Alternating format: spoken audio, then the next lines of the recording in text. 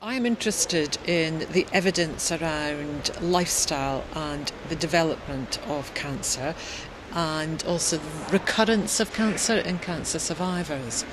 And my particular area of interest is the translation of that evidence into current practice and policy.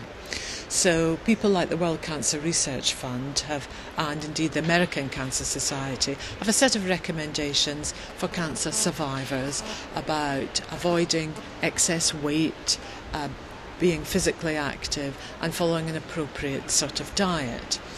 Um, and we know that evidence, but how can we actually do something about it? So, the research that I'm presenting here at NCRI is about what's the patient view, cancer survivors, um, how, do, how would they feel about getting advice? Would they welcome it? would they think they were being got at or whatever?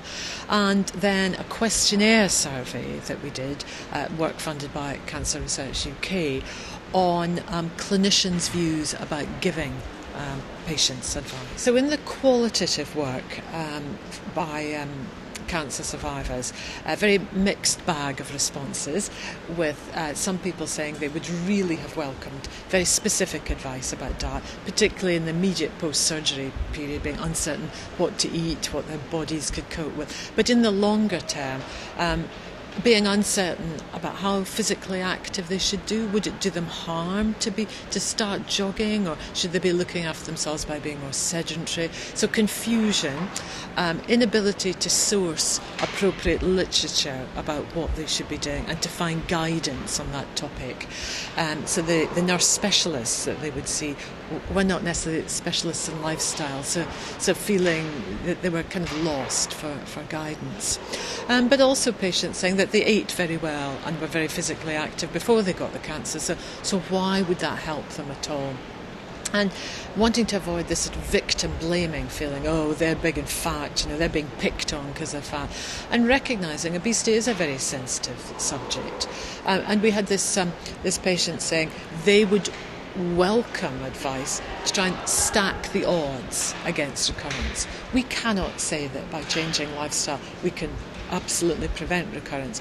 But let's try and do what we can to reduce the risk. So the next piece of work um, was a questionnaire survey followed up by some in-depth telephone interviews. There was a questionnaire survey of colorectal clinicians, that's both doctors and nurses.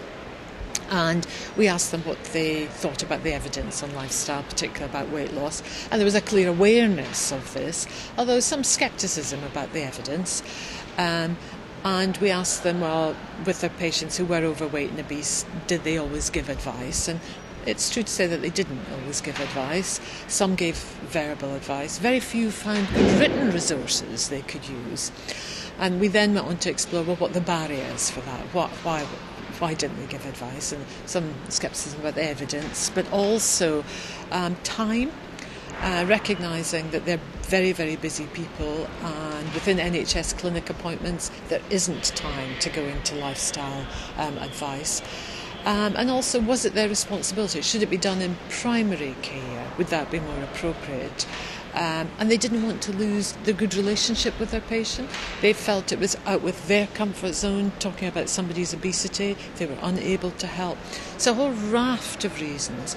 But also, um, recognising that they would, many said they would welcome training in weight management, which I think would have to include about how you approach the subject because I think it can be can be tricky. Uh, I think that we need to be able to look at effective um, communications that can help to a prompt change in behaviour related to diet, physical activity, and uh, for people to know their weight and their weight category for people to be supported to move into doing something about that. And I really don't think lecturing is the way to do it. I think there are many there are many approaches. It's very difficult to get um, a referral to a dietitian. There are very few dietitians in this country, but I think uh, many nurse specialists can help open the door, can help introduce them to, through brief interventions.